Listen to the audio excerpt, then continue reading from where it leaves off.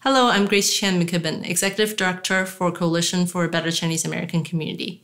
Here we are at the historic Progressive Baptist Church, a 101 year old African American church led by the Reverend Dr. Charlie Dates.